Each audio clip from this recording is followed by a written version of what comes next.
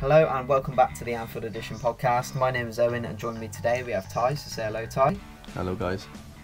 And we also have Invertus, so say hello mate. Hello, everyone. Today will be a slightly longer podcast as we are releasing just the one this week as I'm off to Reading Festival. Anyways, on with the podcast. We'll be looking ahead to a couple of big fixtures against Hoffenheim and Arsenal, our best players against Palace, and the Coutinho situation once again. So let's get started. Reflecting on the Palace game, Robertson was the standout performer on his debut, wasn't he? Here's a few stats to summarise his influence. Spending 70% of the match in Palace's half, he showed fantastic attacking ability, with 87% pass accuracy, 10 crosses, and 3 chances created. It was a thoroughly impressive debut, wasn't it, Ty? Solid, mate. I'm quite impressed with him, to be honest with you. I think um, a lot of people were asking questions, weren't they, when um, obviously Moreno was starting the league and so on and so on. Um, I kind of expected him to in the Watford game, and then a lot of people were saying, what's the point in bringing Robertson through then? But um, it just shows, haven't it? We've got a lot of games coming up, and already he's uh, rotated the side. Um, I thought it was a bit early, to be honest with you. Um, I know it's a, fair few games coming up, but I just thought it was a bit early to rotate. But he was solid. It was, it was literally like he's been here for a couple of seasons already, in my opinion. Yeah, it was a seamless transition into the side, wasn't it, Ty? I was really impressed. Exactly, spot on.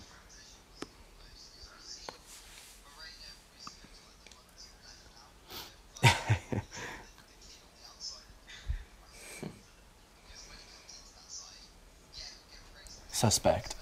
Defensively.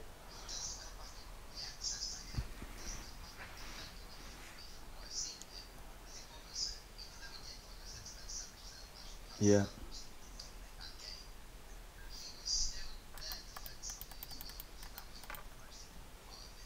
Very, very solid. You can only get better defensively. I think obviously we, we, we could all see how good he was going forward. His crossing was you know, ridiculously good, and I think um, if our attackers were on their game or bang on their game, we would have probably added a couple more goals just because of uh, the quality of crosses that are coming in from that left hand side. Now, Klopp's already rotated the squad quite consistently this season. So, looking ahead to the Hoffenheim and Arsenal games, we've got Milner, Moreno, Robertson all in contention for a starting place in either of those games. So, who would you start for Hoffenheim and who would you start for Arsenal? Um, I reckon I would have comfortably said um, Moreno, based on because I think he done quite a solid job um, right the way through pre-season. He was up and down in the Watford game. I think he was really good going forward, like we've all said already. But again, he showed like little glimpses of his like lack of concentration and stuff. Um, for me now, the way Robertson uh, played against Palace was that good. I would consider putting him in for the Hoffenheim game. I think that's the important one for us at the moment because uh, even though Arsenal is a big game, you know, it's, it's huge. Um, against someone we'll probably be competing for for top four. If we didn't get champ- Champions League football, it would be a disaster. So um, I would go for the most solid person in there, and based on the couple of performances we've seen so far, it would be Robertson for me. So, who would you start for Arsenal then, Ty? I, I don't know if I would rotate. I, I know it was only a couple of days later, but it's early on in the season. If we were like three quarters of the way through or towards the end of the season, I'd say you know fair enough, maybe a little bit of rotation is needed. But I think it's too early. Uh, You know they should be quite fresh. Robertson didn't actually go through a grueling, grueling pre-season because obviously Klopp was doing double and triple sessions. So I don't see any reason why he needs to play one or the other. I think he should he could play both if he performs well against Hoffenheim. I think the real issue is the obviously last season we had that big burnout around the Christmas period where the conjunction of fixtures sort of hit us quite hard. So I think he's looking to rotate the squad early just to keep them fresh going into that time, and I think it's probably the right call in my opinion. Um, personally, I think it's quite a good idea because leading up to Christmas, there's a huge congestion of fixtures, and then after Christmas, we can sort of stick to the strongest eleven and push on for the league or at whatever position we're at. But up until that point, I think I do think we have to rotate.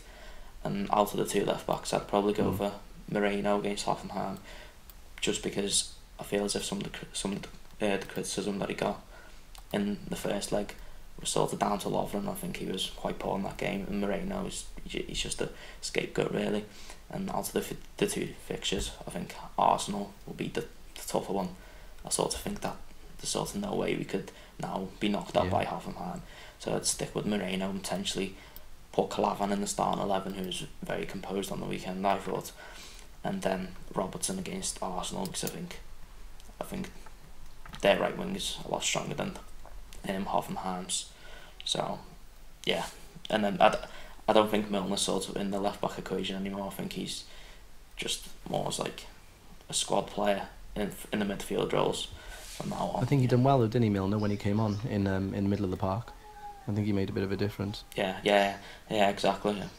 Because Inverter, you've been quite a big critic of Gini Wijnaldum this season. He hasn't had the best start to the season, to be fair to him. Milner, on the other hand, he's much more industrious. Yeah. He'll do the running, like obviously footballers are meant to run, but he'll do the running for you defensively. He's much more um, astute and aware due to his experience. I could really see him pushing uh, Wijnaldum for a place at this point, given how uh, slow a start it's been for him to the start of the season, Yeah. given you know how he's more solid defensively. Yeah, definitely going off this season. Yeah. Yeah. Well, we shouldn't really give Wijnaldum too much criticism too early on in the season, but thus, thus far, I do think Milner has shown the better displays overall, and Wijnaldum looks as though he has to train a bit more with the squad and work, work on his just overall game really. But it's a strange one with uh, with Milner because he's he's a player who's been playing right mid for most of his career. and Now he's come to Liverpool. He's been playing left back, uh, centre mid, and Yeah. he's doing great in my opinion. And he always think- gives his best. So I don't see why. Yeah, hundred percent. I think to be fair, the um, what I would say in uh, Wijnaldum's defence, he seems to be the player out of um, the rest of the midfield three or four, if you include uh, Milner in there as well. That's been experimented with the most in pre-season.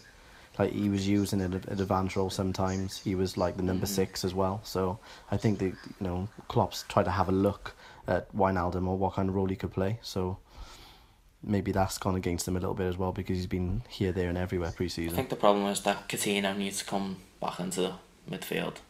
I, I know he Yeah. hasn't really played. Yeah, Lallana.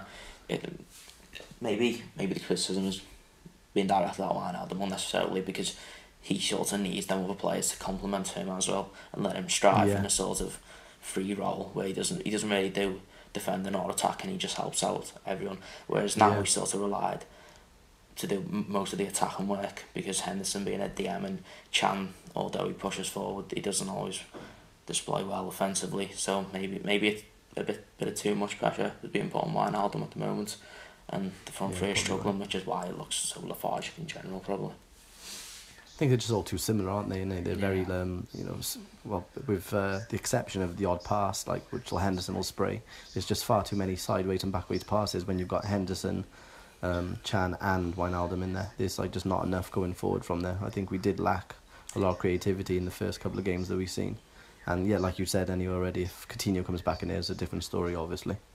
A frustrating sign with Wijnaldum that's been quite prevalent in his career is like the he's almost afraid to shoot sometimes. I know on the weekend again, he had an open goal against Palace, but he decided to take a touch and then def- Mm. defenders sort of ran ran in front of him and got blocked eventually. And I feel as if someone like Coutinho just snaps upon a chance like that and finishes it straight away, which is why we need him definitely. So, in the similar vein to Robertson, who had a very strong performance, I think Mane was another contester for man of the match. He was ever present again. The progress he's made since joining us is simply incredible, isn't it? Given how inconsistent he was at Southampton, now he's one of our most consistent players. I'll echo Jamie Carragher's comments in saying he is now more important to us than Coutinho is. So, how good was uh, Mane against Palace lads? And do you think you know he's going to be up there for Player of the Season again? Yeah, Um, go on, go on, uh, you go. Oh. Um, well, yeah, obviously he was player of the year for Liverpool, and he was also in the PFA team of the year. So that suggests that he is our best player. And for a winger, I think he's brilliant. But a winger can only affect a game so much normally. However, at Liverpool, I think because the front three sort of interchange so much, he can sort of affect the game much much more because at times you find him in a, centre forward position.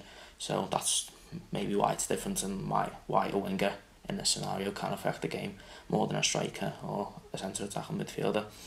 And stats Yeah. also show that Liverpool sort of win more games with Mane. I think there's actually a ten percent um difference between.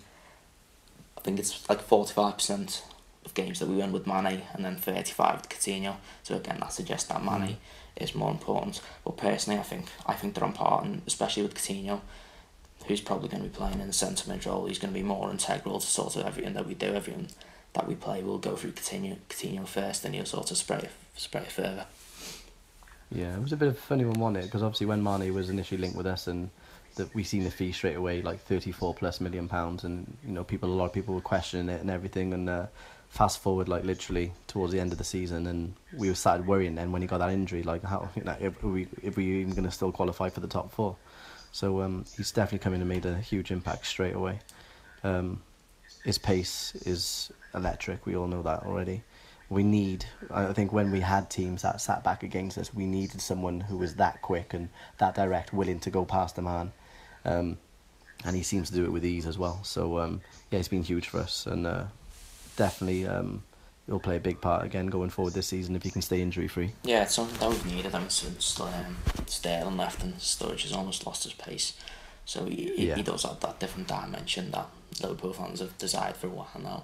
That ability to penetrate from out wide and cut in, put put a few balls in, crosses, so on. So yeah, Mm. he's he's definitely a great been a great addition despite many fans Just seemed to regain his um, sharpness really quickly, didn't he? Because we've seen him in like in pre-season. You, we seen like the a few like bad touches from him. He was overrunning the ball a bit, and then literally as soon as the Premier League side, he was like bang, he was ready to go. Yeah, wasn't he meant to be um, unfair for the Palace game as well? And then Yeah, he, he started So- and looked like the best player on the pitch. So that's that tells you everything, really, isn't it? Yeah. No bad back there. yeah. With that 1 0 win, Atnaconi asks, Are we finally over our bogey team? And I would say yes, with De Boer at the helm, but that's not the same Palace we played the last few seasons. One that used to be quite physical and robust in defence, have now chose possession and flair. What did you think of Palace, lads?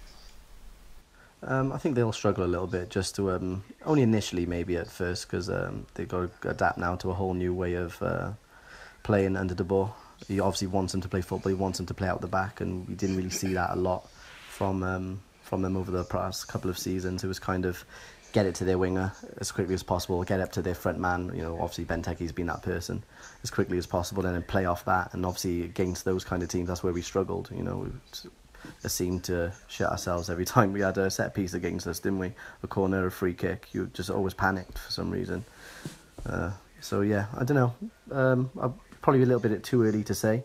Don't know if um, we're definitely over it yet because we've only seen one game against them. But I think time will tell as the season goes on when we see them how they fare against other teams as well. Because they were kind of a bogey team for a lot of play uh, for a lot of teams, weren't they last year?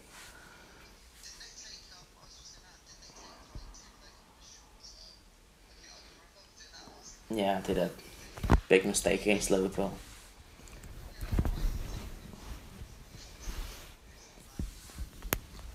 Yeah, I thought the tactics were strange from De Boer. He's almost like trying to apply his philosophy to what he thinks is a Barcelona team, when in reality he's got a midfield that consists of Loftus Cheek and Mil-. So I do think that the squad have to play with, with each other a bit more, maybe once the chemistry gets going. They'll start to play better. Yeah. But at the moment, surely he's looking like one of the favourites to get sacked first because because this philosophy that's of a rough sort of ride, hasn't he, unsuited. Since his obviously what he done at Ajax. He, he, you know, he was praised there and everything, and then as soon as he's come out of that job, and it just hasn't worked out for him so far. Now, De Boer tried to make that transition to Italian football from Ajax, where he started his uh, coaching career. Much more successful at Ajax, actually, when he played a Mm. more defensive style of uh, football. Uh, surprisingly, what would happen is because they were mostly underdog teams, uh, the underdog in Europe when they were playing these big teams. Uh, I feel like he should adopt the same approach with Palace. Uh, he's going to try and play this expansive possession-based football, without the players to deploy the system. I know there was one moment where there was two like corners in quick succession, both taken short, and you think, what on earth are you thinking, De Boer, when you've got Benteke up front who can get on the end of those crosses against a team that's notoriously bad at defending set pieces? I mean, it just didn't add up for me. Mm-hmm. Yeah. Does possession Well, I football ever worked in the Premier League? Just like also interesting. I think Arsenal sort of try and play possession football, but it's, it's sort of unsuited to the league, isn't it? Like the, the Premier League's more counter attacking. You either, you're either counter attacking on the back foot or you just peppering the goal shots, aren't you? So it's Yeah. going to be interesting to see how that progresses. So we are now one step away from Champions League qualification. We have the two away goals in the bag, and I expect us to see the tie through. However, Hoffenheim still posed a threat, and the goal was an example of that. The defence switched off for a second. I believe it was Alexander Arnold with his hand up, Yeah. wasn't it? And they then scored off of that. Add to the missed penalty in the first half. It won't be easy on Wednesday, will it, Ty? No, mate. Like I said, we, we know now what they're all about. Um, obviously, done a little bit of research beforehand, didn't I? So um, kind of knew what to expect in terms of the way they set up and everything. But um, yeah, they were a threat. They were a threat, from all over the pitch as well. Um, they were quicker than I expected them to be, both um, offensively and defensively as well. Um, we've seen it on the occasion that Salah went through. I think um, a couple of their centre backs in particular were very quick and didn't seem to get blown away by um, the pace that we had up front. Um, I think their manager come out recently in their press conference um, earlier today and they said that they cope very well with our speed and attack. Um, so yeah, they, they're going to be dangerous. Um, the other going the other way as well. So I think we'll have to be um, bang on our game defensively. We need to be better than we were in the first leg for sure. Um, I think. Um, do you think Lovren is going to keep his place with how uh, solid Klavan was? I think he's a rumoured too, but I don't necessarily agree with that after Klavan's display. But again, was that influenced by Robertson Yeah. being there? Potentially, yeah.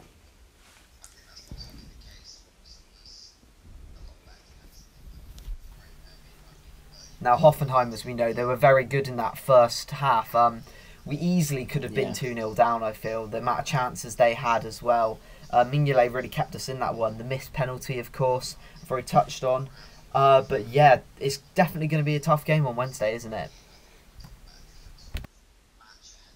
Yeah, well, they had a chance right at the end of the game as well, didn't they? A free header, which they really should have scored, to be honest with you. So, if if they had scored, if we if we come out of that game at two all or even lost three two, we couldn't have had that many complaints, to be honest with you, because they they did create some real clear cut chances. So, to an extent, I think we were lucky that we come away with a two one win. Yeah, looking back at the game, we were really lucky, I thought, Sna- Serge Gnabry, he Mm. created a lot of chances, but then sort of failed to capitalise in the final stages.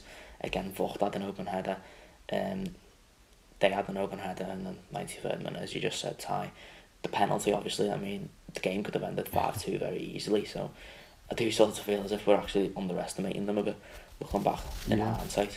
I think we'll be strong at home. I think um, we- we're always stronger Yeah. at Anfield on a European night. Um, we've seen it many times. Obviously, I think we've touched on it in a previous pod, like against Man United, strong. Against Dortmund, strong. So um, we tend to do better at home. So I think that'll kind of uh, see us through, to be honest with you. Um, we've learned a little bit Yeah, more about obviously, yeah. Hoffenheim now as well. You know, there's obviously Klopp had a knowledge of them, but being under uh, Nagelsmann as well going forward, um, you've seen them up front and up close and personal. So I think you'll have a better game plan this time round. Yeah, it's also important to mention the, the Anfield atmosphere. Obviously, the Kop will be in full voice. So, even if we do go down, I mean, someone who goes to match squads like myself, we can we can go down and then we, we start comebacks. It, it happened, you know, a lot before. So, we, we sort of got that to fall back on if we do Yeah. go down early. Now, the 12th think- man is something that's really underrated, um, I feel, at least by other fans. I know us Liverpool Mm. fans, we really appreciate how important that is to our team getting a good performance and, you know, mounting those comebacks that we've so famously done in the past. Yeah, yeah, definitely. I think um, if we score first and if we score it early, I think we win the game comfortably. Um, if it's one of those games where Yeah. you know Hoffenheim can be very patient as well, they won't go all out attack. Obviously, if they do decide to sit back and frustrate us, it will get a little bit nervy. So I think the key for us will be to kind of uh, score early, if we can. Yeah, I just think we'll set up. Will we set up defensively from the very start, or will we, will we try to play football? Mm. Yeah, it'll be a very intriguing tie. Um, it has to be said. Um, Hoffenheim do pose quite a big threat to us, like we've already touched on. Uh, as in regards to a prediction, let's get one out of you. Nobody was on the money last week, as none of us went with a clean sheet against Palace. So obviously, Ty, famously on the first day, predicted a clean sheet against Watford. We Yeah, conceded know. I three. know. Uh, so go ahead for this match. What is your prediction for our Champions League tie with Hoffenheim? Um, I'm gonna say we'll be solid at home. Um, I'm gonna I'm gonna try and back a clean sheet again this this time. So I'm gonna go with two 0 home win. Yeah, that's pretty good prediction. I'd like to see that happen. Inverter, what about your prediction?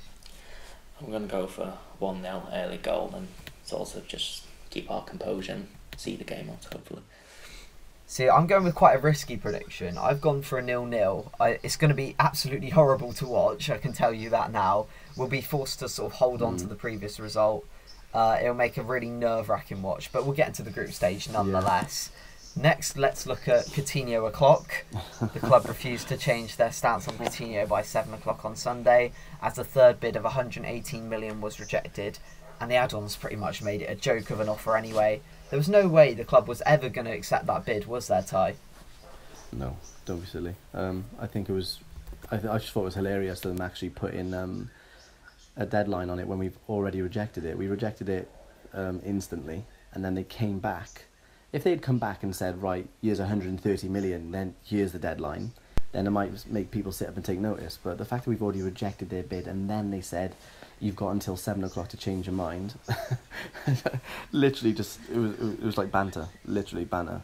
Um, the actual makeup of the bid was a joke as well. Um, I don't know how um, how many people actually knew knew much of, a, of it. So 118 million, apparently about 82, 83 of it was up front, with 30 odd million obviously in um, add-ons. Did you know what some of the add-ons included? Yeah, Coutinho Ballon d'Or, yeah, wasn't but it? Coutinho winning the Ballon d'Or, um, multiple Champions League wins apparently, the multiple Champions League wins, and multiple Because trophies. you know how bad Barca have I know. been. You know how Barca have been. Oh, it was a joke. Yeah.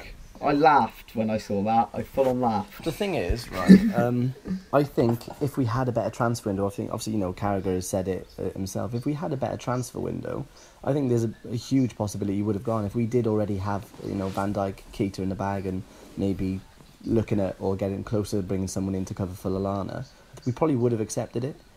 Anything between 100, 110, 130 million, we would have accepted it. Obviously, maybe not so much with the add-ons that they they offered, but if they would come to us and said, right, here's perhaps you know 90 to 100 million up front, and then kind of another 20 million in guaranteed money, maybe spread across the next year or two, probably would have happened. But um, yeah, with the transfer window going like really, really bad for us so far, there was, there was no chance we were going to let him go. We would have looked ridiculous.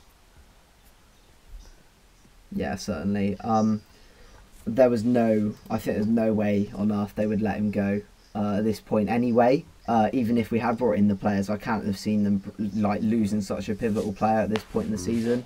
I think we're all still a bit annoyed um, about the timing, obviously, of it.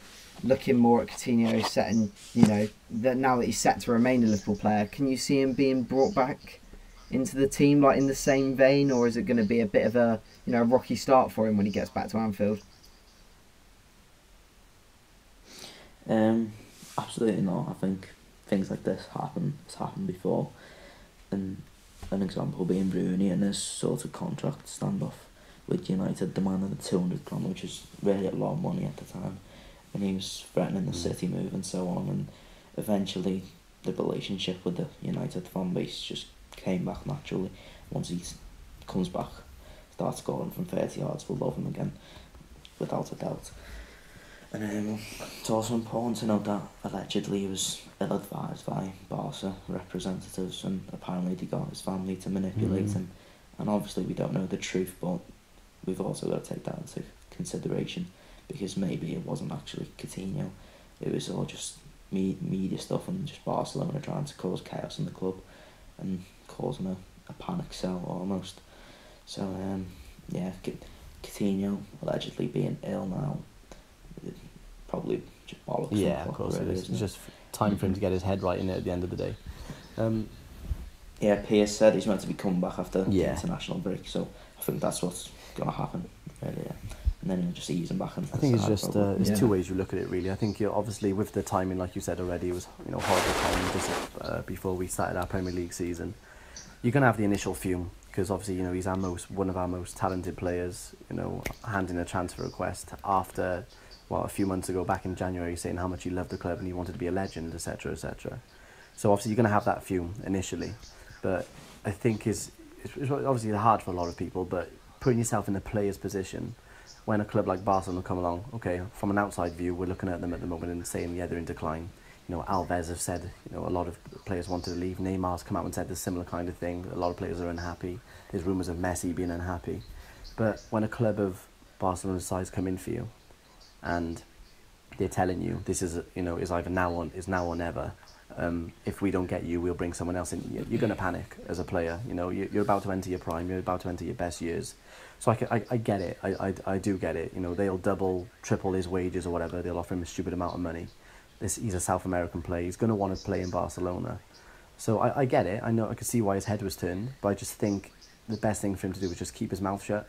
Even if he wanted the move, just keep it all private. You they, you don't need to hand in a transfer request. I, don't, I just don't think it really does a lot because if a club, um, which you just dedicated, committed to for the next five years, the, the club haven't got to sell you. I, I don't understand why players think if they agitate for a move that they'll just let him go easily, especially with this stupid offer coming through.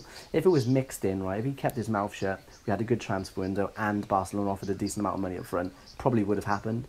But he's just made his life a little bit harder now because obviously he's going to have fans at first on his back they'll come back on side as soon as he puts you know a, a worldie in there, top bin from thirty yards. Every, everything will be forgiven, you know. but eh, yeah. you've got to see it from both sides. You've got to be, you've got to like kind of like rein it back a little bit and see it from a human point of view. That why you would have wanted to go. It's obviously quite clear, isn't it? It's Barcelona at the end of the day. There's only two clubs in the world, which well, a couple clubs in the world, which is more of a stepping stone from Liverpool in terms of how big the club is. Not out as we are as a team now, because you know we're not in the Champions League yeah. year in year out. But as a club, there's not many teams bigger than Liverpool. Yeah, I think the biggest issue will be with Klopp because he's known to sort of hold grudges with players, and allegedly he agreed to stay at the club mm. a few weeks prior to the whole incident. So that'll definitely piss him off. Hundred percent. It'll be interesting to see what happens, but I, I think he's too good of a player to just sit on the sidelines really, and he, he's left with no choice, especially from the owners as well. Yeah, just, just to play him eventually. Because you got a lot of fans. Um, I saw, uh, especially on Twitter at least, saying, "I'll just let him rot in the stands," and I think it's not the right thing for the club to execute something like that. I mean, first of all, you're making the squad thinner. You're one player short from a very, you know, basic point of view. But then we're forgetting that one player is Coutinho and how important he has been too good. To us for the past few yeah. years. He's too good to pass up while he's here. We all know he's going to leave eventually. Like we all expect it uh, to happen. So while he's here, you may as well, you know, let him have that platform to thrive. And you know, the better he plays, the more money you get out of him. Realistically, of that's the that's the way that's it is. Exactly the same situation. More importantly, I don't think the owners would allow it surely, because if if they've just yeah. rejected the 118 million or whatever it was, they're not then going to say, yeah, do whatever you want with them, Klopp. If if you want to just let him sit in the stands, I can't see that happening. We've seen it. We've seen exactly the same thing happen with Suarez. You've seen obviously people saying that you know let Suarez rot in the stand is never going to happen. He's our best player by a mile, and he came and had like the best season of his Liverpool career, I think. So, you know, he, he, he nearly shot us to the league as well. So if Coutinho does something similar and we go one step further, no one's going to be complaining if he does eventually go to the Nou Camp. Yeah, absolutely. Yeah, so with Coutinho set to stay, uh, I mean, Klopp doesn't need to bring in necessarily Draxler, uh, as a lot of people are reporting. Uh, James Pearce dismissed uh, our interest in Draxler a bit earlier on this week, but Klopp still supposedly wants to pursue a, mid, uh, a central midfielder now, Draxler isn't the answer according to Klopp, which I find quite ludicrous. Um, Coutinho often operates in the space between midfield and attack, the same as Draxler does or has done for Wolfsburg and PSG. And the need for creativity in that midfield is completely obvious to everyone all the numbers are up for us fans. Is Klopp seeing something we aren't, or brilliant one for me, isn't it? Because I've literally just done a, an article on Draxler and how well he would fit in. Yeah. and then uh, good news, James Pearce comes in and uh, says we're definitely not interested in him. Loving that. Great timing. Cheers, James. um, I, I like Draxler. Um, the only thing which threw it into doubt was the fact that you know that whole um, dispute come out whether Draxler used Liverpool to get more money out of PSG and so on and so on. Um, obviously, the timing of it as well. Klopp come out and said, um, "I only want players who want to play for Liverpool." So you don't know if that was a bit of a dig at players kind of asking for money and making that their priority. Um, I'd like to see him all the, all the same. I'd like to see him, like you just said, he, he's a great link between midfield and attack. He can operate out wide if we did get any injuries or suspensions. He's fairly quick. He's got you know brilliant two feet as well, and he can score a goal. Um, I'd love to see him here, but I can't understand why Klopp wouldn't be interested. I don't know if any of you two can. Can I can sort of see where he's coming from due to the system that's in place. Obviously, he can't play on the left because our best player plays Yeah. there. He can't really play centre mid because he's not really suited that role. We sort of have to play with a cam or a second striker. So that might be the problem they sees, and that alongside the January stuff, maybe that's ultimately what led led him to just pass upon the opportunity to sign him.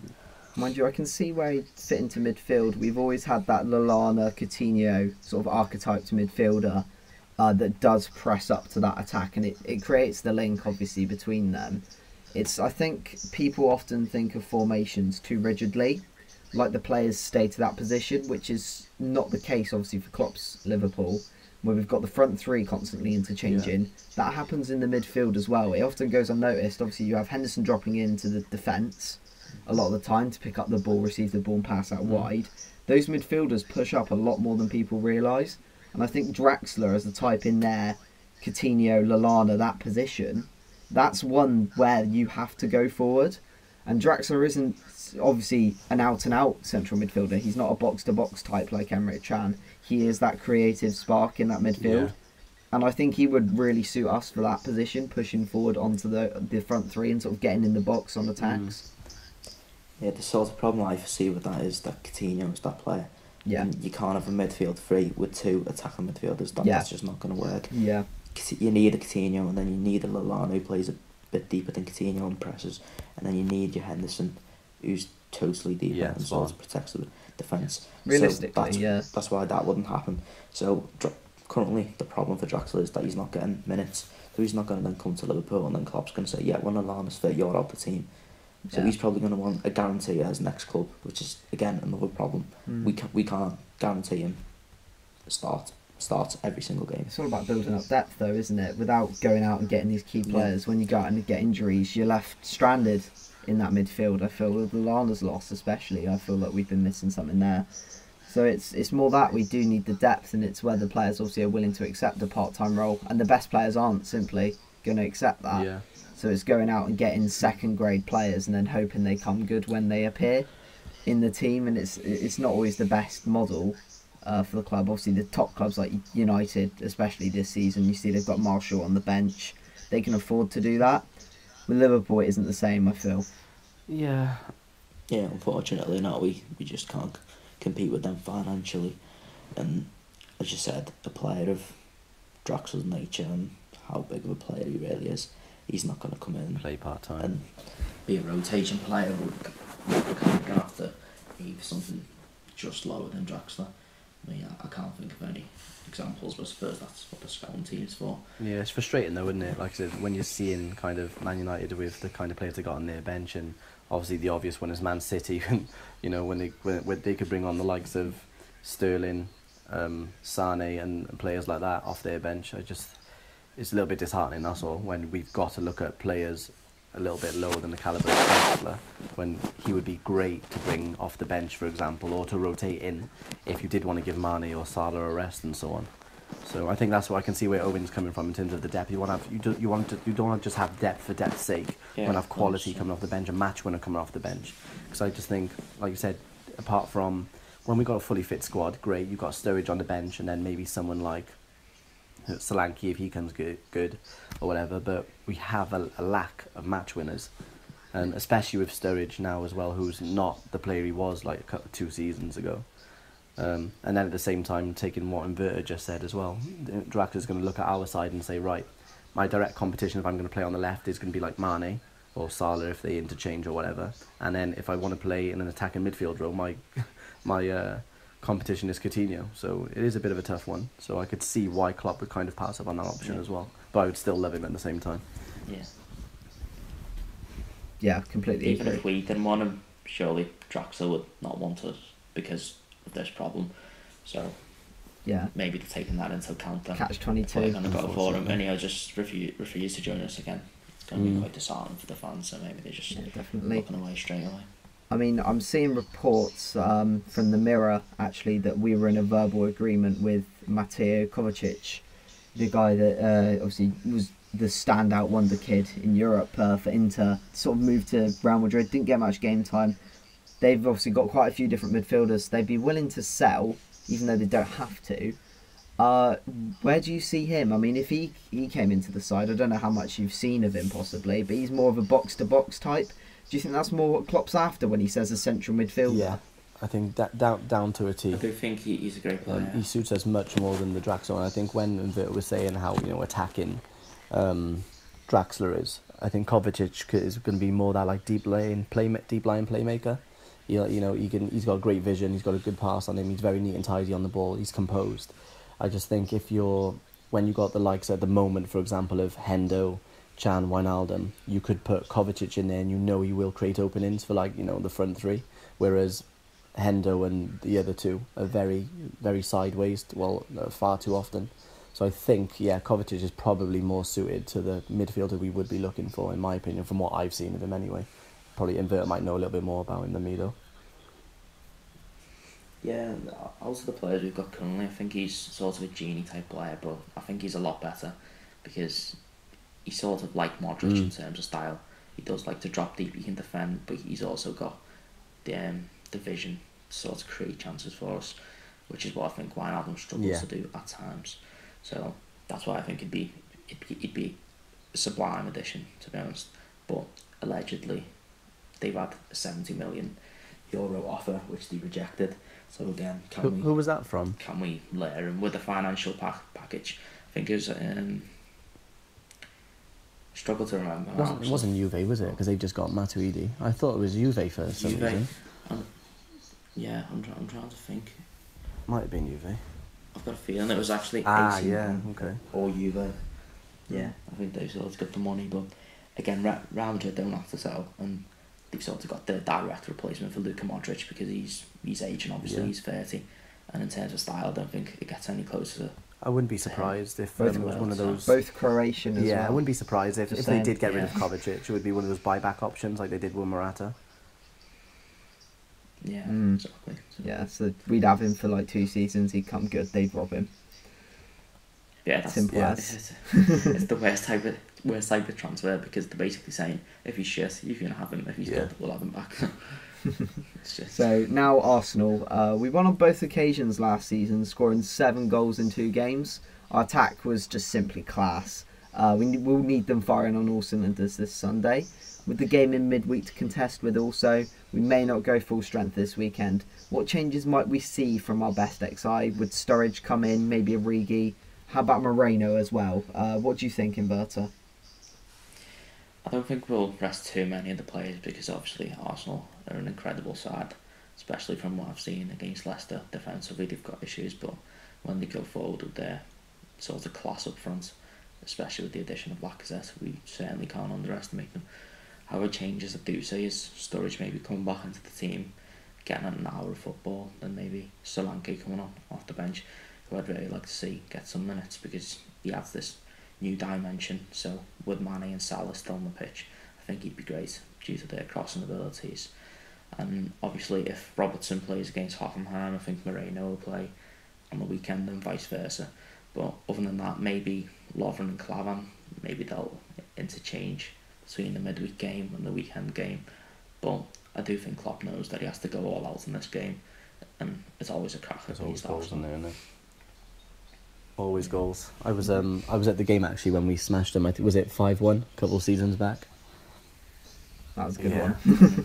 and Yeah. that was Sturridge, wasn't it? Absolutely on fire that game. I mean, I'd love to see a performance like that again. Yeah, it was like no, that's the first time. Um, I'm not I'm not a huge drinker, obviously because of the job I'm in, but um, that was the first time I, I drank a few pints before the game. I was absolutely steaming. it doesn't it doesn't take a lot to get drunk anyway.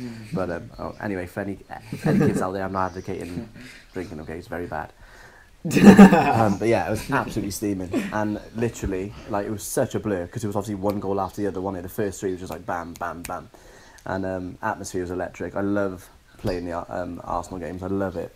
So um, I wouldn't want to see us rest too many players. Not this early on in the season, anyway. Like I've already said earlier on, Um, maybe one or two changes. Um, With the way Arsenal play as well, they got obviously they got that they played that what the three five two now or three four three or whatever it is. Um, they switch the ball quite a lot from flank to flank. So I think um, defensively, I'd probably want to see Robertson in there, just due to Moreno's positioning. Really, um, they they like a, a switch of the play. They move the ball around very quickly. Arsenal, so I think um, much prefer to see Robertson um, at the back, just literally like I just said out um, just for positioning wise. But uh, Sturridge. Um, He's had a good few games against Arsenal the last few years as well, so wouldn't mind if he did come into the team. But I think we need to be busy against their, um, like Inverter just said, didn't he? that They're quite suspect defensively still already. We've seen it against Leicester, seen it against Stoke. Um, so Firmino is, it will be huge in that game against Arsenal, I think. Yeah, Ty, you said you'd start Robertson midweek Yeah. as well, so do you sort of see him as the first choice player now, sort of completely taking Moreno Um, out the equation, which I'd sort Yeah, of I, agree with. I, I think so, but obviously I I don't want to get too excited as well because it is a big step up for Robertson. Um, he did perform really well. He had a good pre-season, I think, um, and he followed it up with a really, really good game, man of the match performance in my opinion. Him and Ma- Mane were on a par um, against Palace. But um, if he follows this up, if he did play against Hoffenheim and he was solid again, I would definitely give him a chance at least. Because even though I do like Moreno, I do really like him. I think he's a brilliant character, and I think I got really excited when I seen him in the um, Bayern Munich game because against one of the best clubs in the world. I know it was a friendly, but he was solid. He was really good defensively. He seemed to be really switched on, and going forward, he was phenomenal. Um, pace, he was, you know, he linked it well with the attack as well, and um, yeah. But for me, defensively, that's where Moreno is suspect. So if Robertson comes in and proves that he's solid at the back, and he, we've seen how good he is going forward equally, um, equally as good as Moreno, then it would be hard not to give him a chance, wouldn't it, as first choice? Yeah, certainly. Uh, Arsenal suffered a disappointing loss to Stoke last Saturday, like you touched on. Uh, despite dominating the game, new signing Jesé scored the device, uh, decisive goal in a 1 0 win. So they'll be looking to bounce back at Anfield, and it will certainly be our toughest, uh, toughest opposition so far this season. Keeping Lacazette quiet will be the hardest task of all, surely. He's good. We've seen what he can do already. You know that um, header against Ars- uh, against Leicester, really, really, really sharp in the box. Um, he's just one of those players that can make something out of nothing, as well. Um, he's not a type of player who's going to like go in and beat two or three, four players. But in the box, he's so so sharp. He's always first to the ball. Is a, a touch and hit. So um, often he takes a defender, goalkeeper by surprise. So yeah, um, Lovren or whoever is at the back will need to be uh, very alert to uh, Lacazette's movement.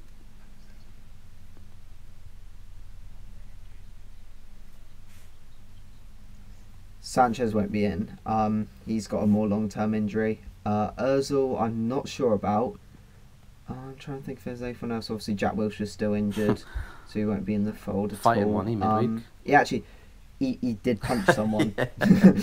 Just he did punch someone. Um, no, but I think the the back three. Uh, I'm not sure if Koscielny's is Koscielny back in yet or no, because obviously he had that ban, didn't he?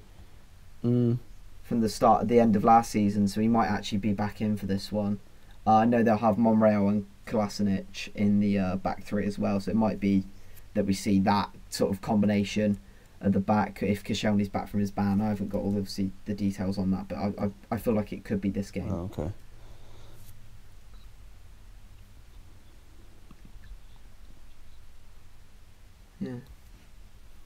It's more just you never know what you're going to get with Arsenal. Like you don't know which Arsenal team's going to turn Yeah. up. That's the real issue. I feel because they easily could have lost to Leicester on the opening day. Hundred percent. They haven't been, you know, they didn't get past Stoke as well. We've got, a, you know, they haven't got the best defensive record. They've had quite a few 4 0 losses last season off the big Yeah, teams. they seem to get bullied by Stoke It's- every season, though, don't they? To be fair, that's I think that's Yeah, kind of one of their bogey teams as well. Yeah, I think that is their, their main one. I think Stoke, um, well, they haven't won at uh, Stoke's ground for seven years or something. so I, I remember reading that stat um, up at the weekend. But no, that is one of their bogey teams. But obviously, we've already touched on the fact it's always a gold fest when it comes to Arsenal and Liverpool recently. Yeah. We've had 4 3, 3 all, 5 1. I mean, you, we can't see the game going any other way, surely, at the weekend. Yeah, I tell you what, I think um, Giroud's going to be a big danger man again.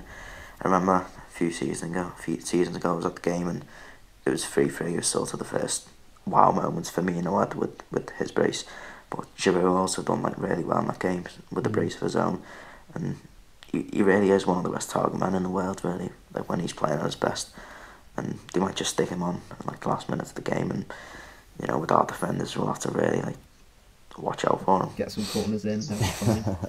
you just see it come in. Be interesting to see how Do you all um, remember? Yeah. how um, Chamberlain plays because he was uh, he's looked sharp as well. He's looked one of their best Yeah. players so far. Yeah, he looked great against Leicester from from Yeah. what I saw. Made me mm. really want him actually. So yeah, like out of the players we were talking about before, I think Oxlade Chamberlain is a realistic one who could sort of be that squad player we've also mentioned it Yeah. in podcasts before. And I, I, I sort of think he's that calibre below Draxler and maybe he'd be happy to be in that squad role with his with the diversification in this game. Keep an eye out for uh, a full Klopp hug with wings. Chamberlain at the end of the game because a, a lot of players Klopp goes and hugs. We Yeah. end up signing and we've seen him with Mane, didn't we? So, yeah, hopefully he scores. We seem to sign everyone who Yeah. scores against us. No, well, as long as Giroud doesn't score against us, like God. Yeah. Just end up with Giroud up front. Can you imagine? right. So Yeah, he's good for Arsenal, but no thanks. finally, let's get another prediction out of all of you. I'm back in a 3-2 win for us. I'll put my faith in the front three once more. And if previous meetings with Arsenal or anything to go by, this is going to be the goal fest, like we said. Uh, what's your thoughts on that, Inverter? Um, I'm gonna go for three one. I sort of, I think without Sanchez, Arsenal won't be able to hurt us too much. Maybe they'll. I can see them getting the first goal, then sort of, sort of eventually Liverpool easing into the game. um, two What one about you, Ty? Two one, obviously to us. Um, I think um, we might, depend on how the game goes midweek. Might look may look a little bit jaded, but at the same time, like I've said, it depends on how um, how much rotation we actually play in. But it, it depends. If if we if we exert ourselves a lot midweek, I hope it's not one of those tense games which you think is going to be. Oh, I think if we like go in and get a nice couple of Mm. early goals and we can rest a couple of players, like you know maybe give them 20, 30 minutes rest before the end, that'll be perfect for us because um, I think we can go a Yeah. little bit more full throttle against Arsenal then. So, but yeah, I'm, I'm, I won't I won't back a clean sheet against Arsenal. Um, never happens. So I'll go uh, two one.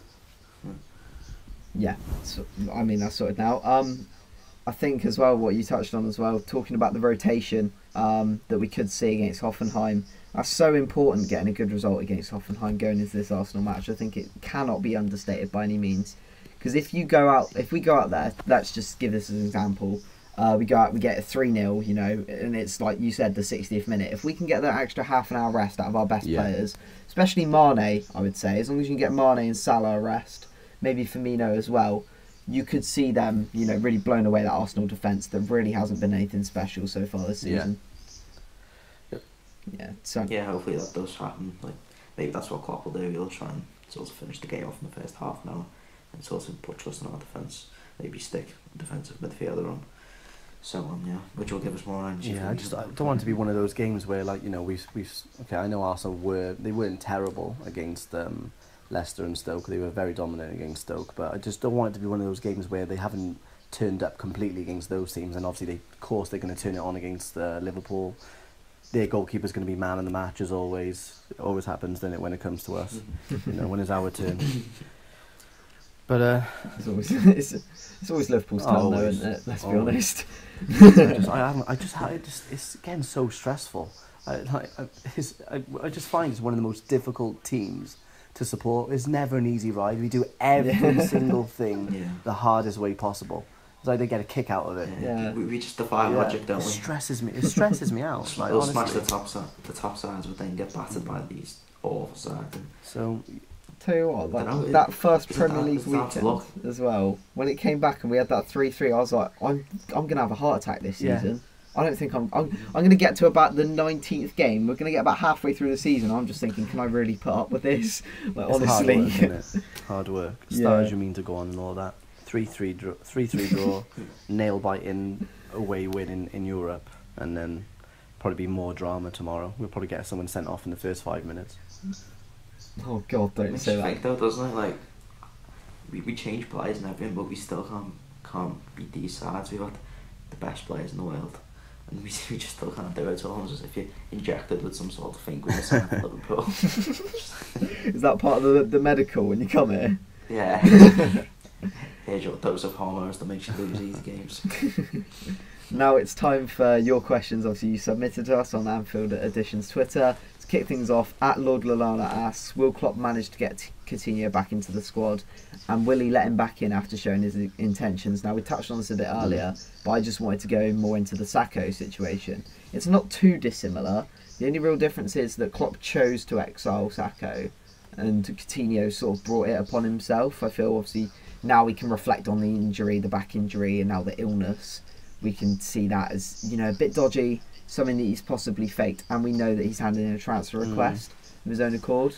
I, I Um, don't know. I- personally, for me, uh, I think the only way back for him is a public apology, sort of in the same vein as Suarez did a few years back. Uh, what do you think, Ty? Um, it's a funny one because, yeah, same as what you just said. Then I've seen a lot of people on Twitter saying that um, if he uh, welcomes Coutinho back in straight away and blah blah blah, he's, he's going to be a hypocrite because the way he treated Sakho. But I think they are two very different situations. The Sakho stuff Yeah. was very much based on, from what we're led to believe, behaviour. He was very disruptive. He was turning up Mhm. late for meetings and meals and stuff like that. Whereas what Yeah, and accumulation. yeah, exactly. So, and what we're talking about with Coutinho is okay. Yeah, the timing was uh, stupid. You know, it was a bit of a dickhead move to hand a transfer request in. You know, on the eve of the season. But in terms of what it was about, is it was a, it was a, a move to his dream club. So there's two diff- very different situations, and the talent. Okay, I like Sakho. I don't think he's a he's a bad player at all. I did really like him actually. I rated him, but we're talking about also one of the best players in the Premier League. there's no chance we're going to say yeah, go and sit in the stands, go and train with the reserves and so on. So he'll come Yeah. straight back in. Yeah, the top players can sort of get away with Yeah. things, can't they? Like, Well, look, if Ronaldo Suarez is got yeah, he's just yeah. got five game suspension, and obviously no. Well, Suarez has bit chunks out of players, you know, all his career, Coutinho. and, and no one uh, yeah, exactly. exiles him. Yeah. yeah, I completely agree Different on roles that. for different players. I mean, we said earlier a bit about the Coutinho situation, so it was a bit of a obviously a repeat there. But um, I agree. I think it'll be he'll come back in, but it's going to be after an international break at least. yeah. So next up, at Mike underscore seven FS and Prene underscore eight. They had very similar questions on Alexander Arnold, so I've sort of bunched these in as a, as a joint question. Uh, first of all, should Trent be our starting right back even when Klein is back from injury?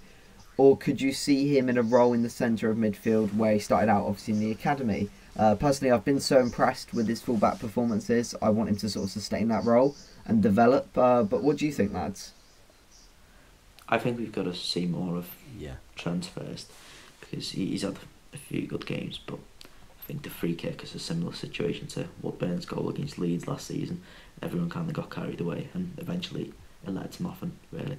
So I also think it's a bit unfair to Klein, who's put in pretty solid seven out of ten performances throughout his Liverpool career. So I can see him coming back in, and then sort of the evaluating the situation from there. But at the moment, we haven't seen enough of Trent. I don't think. Yeah, I, li- I, li- I, li- I like Trent. Yeah. He's been he's been very solid. He's been he's performed better than what I expected. Actually, to be fair, um, I seen him come in obviously towards the end of last season, and uh, there were certain games where I thought he was out of his depth. Um, the Man United game in Europa, in particular, I thought Martial um, running riot, uh, running ragged at one stage. Um, he done well to compose himself in the same game, and he finished it quite strong. To be fair to him, but um, yeah, like Inverter said, I'd like to see a little bit more of him. I want to see that he can be consistent. Klopp's already come out and said as well that he needs to um, develop defensively. I think he's great going forward because I think he's like you said in, in the academy he's got plays a bit more of an attacking role down that right hand side as well as playing through the centre on occasions.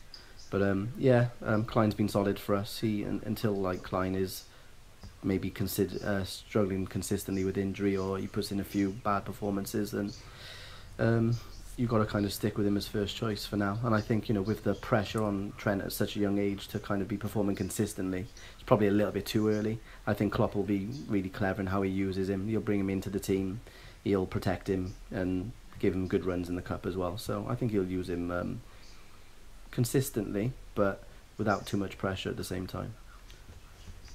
It'll be you a see Gomez mm. coming into the equation, so because obviously he played the right back on the weekend and kept a clean sheet. Pretty solid display overall. So is that another option? Yeah.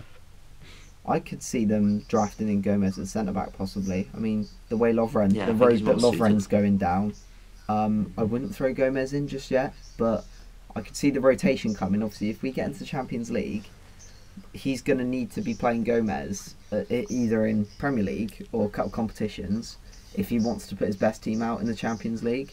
Contesting with midweek football, obviously we haven't done it for you know eight. You know we didn't have it last season, especially. We went out the cups fairly early, so looking at that, I think Gomez could get a role at centre back. Um, but I can see the Klein and Alexander Arnold rotation happening more often. Like um, Ty said, it'll be a consistent rotation for them too. But Gomez is, isn't going to appear in the same sort of bracket, I feel, as, as Arnold. But he'll definitely get a, a good run in at centre back. So I who's reckon. who's everyone's first choice right back at the moment then? Right now, if you had to pick. Klein? Yeah, Klein. same. I'm glad we're all on the same page. right, Yeah. so Okay, maybe that will change on him. Yeah, it could always change. attempts. We've we've only seen what is it, two games now of Alexander. Is it two or three? Three. Did he play against Palace or am I dreaming? He didn't play No, against Palace, was did he? Gomez. Gomez played Yeah. right back. Yeah, so we've seen two games of him, so I feel like it's not fair to judge that against how many games Klein's had Yeah. for us.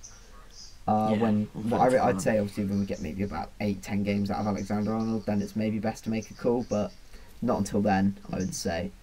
Uh, finally, though, at Matty Bradfield, uh, Brayfield actually asked quite a good question, I thought.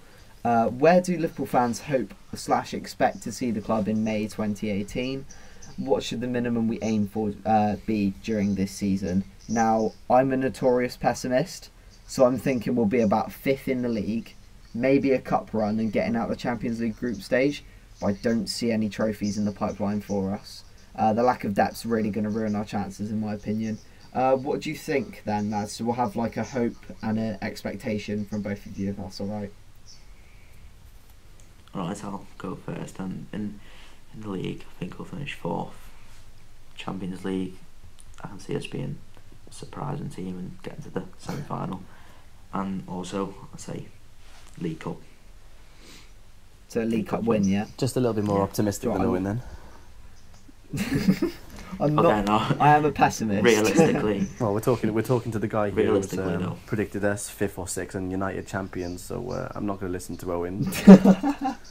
um, for me, I think we should be looking to consolidate um, top four.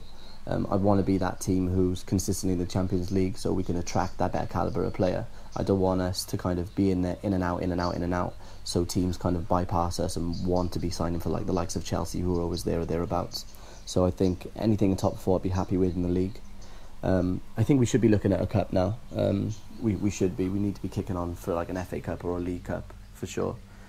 Um, Liverpool are a team associated with winning trophies, not so much in, in recent times, but we need to be there. Obviously, we got close, very very close. We could we could have had Europa and the League Cup in one season, so I think Yeah. we need to be there, um, lifting a cup very soon. This is Klopp's what third season now, so I think I think he would be Yeah, looking exactly. to um, add some silverware now. So um, Champions League, I think, I think we can get to the knockout rounds. It depends on how our group goes. We- We've said this a couple of times already. I think if we get a favourable group, then on our on our day we can um, be a challenge for anyone. So I would say I'll predict if we have a kind group, I think we'll go quarters. hmm I think that's a, a solid one. Obviously, Inverter, you were going to go with a more, was it a more sort of uh, an expectation, maybe like a more realistic one? What were you going to say on that one? well, realistically, I do think we'll get out of the group stages. I can't see us not finishing in the top four because we've sort of got to progress and consolidate on what we've achieved last season. And then I'm actually hopeful of a cup because obviously everyone loves Klopp, but he's got to sort of show that he's capable of winning Yeah. trophies in his career because we can't all just love him for, for his silly jokes in his press conferences. He's got to show that he's, that he's able to win trophies and sort of make a standout in England. Yeah, I I mean, I don't know if you saw the thumbs up in uh, the press conference today when he was asked Yeah. if Coutinho was coming back into the squad. He just literally just put two thumbs up. I, I don't know Yeah. what goes on in his head, but you know, it's brilliant. It's brilliant to have him in charge, obviously. Um, Yeah. Is there any more to add uh, before I finish off, boys? Yeah, change your prediction of United champions, please. Right, so far, I know the media gets carried away, but they have been good, haven't they? Matic has been unreal. I don't know if you've watched any United. I've I've had to watch a few to cover for games for uh, ninety minute, but they Matic is, is different class. Honestly, I would have loved him at Liverpool. No Liverpool. comment. This this Yeah, I've seen them play, this, but is, this is this is a Liverpool podcast it. though, and I refuse to take part. Oh come None on! of that. No, but I want to note how this happened with City last season. They won a few games. I think they won the first Yeah. six, yeah, they actually, did, and didn't everyone they? was like, yeah, yeah, C- City going to walk the league. A lot happens. you cannot get carried away. They have played West. Ham and Swansea. Yeah, they so, played one of the yeah. two I- I worst teams see. in the league so far. So I'm definitely not getting carried away. Leicester will give them a challenge on the I'm, weekend, I'm still calling it. I'm still And, and calling you know it, what, to be fair, actually, I, I was watching the Swansea United game, and the first 20 minutes, Swansea were the better team. They actually had United on the ropes. They could have easily taken the lead, and then that's a different game, in my Mm. Opinion. So, Yeah, it's, yeah. Uh, who was your call for the to win the league inverter? Was it City, if I remember? Yeah, Yeah. I think City. Yeah. You two both went I City, think so, didn't yeah. you? You're just trying to I think dodge they've got the best, the best F in the league, and Guardiola, obviously. You're just- You're just dodging the truth. That's what it is. They're gonna do it. We're all gonna have a cry. i- i- is, is this like undercover? Are you like a secret un- closet Yeah, United fan? yeah. And This, this Yeah. I'm actually. I'm, Closet can United you Fucking imagine if I just came out? I was like, nah, I actually support United. yeah, it's just all banter. I think I'd be, I'd be burnt at the stake, possibly. By possibly me. Yeah. by Ty. Right. Yeah, So we get to do the next podcast on that one, just names it United special. Right, so that's all we have time for today. I hope you all enjoyed the longer podcast, and obviously the jokes of me being a United fan, of course. uh, that's the uh, only one we'll have out this week, unfortunately. We'll be back, I think, next Thursday, uh, the 31st of August. So, where can the listeners find you off the podcast, lads? Ty? Ty underscore talks LFC, and my personal one is Tyrone underscore PT. Mine's at Invertibility on Twitter. Awesome. So, so be uh, sure to give them a follow. Once again, follow at Anfield Edition for updates on when the podcast is released and to ask us your questions, of course. Thank you to everyone that submitted questions this week. We had a really good response from what I saw on Twitter, so that was awesome to see that just come in. Pleasure talking to you, lads, as always. So, say goodbye, Ty. Cheers, guys. Don't forget to follow Owen Zona as well if you want to give him abuse of being a closet United Yes. fan. Go on, go for it. I'm, I'm, I'm all ears. Just go for it. and say goodbye, Inverter. Yeah, thanks for listening, everybody. Okay, and it's bye from me as well.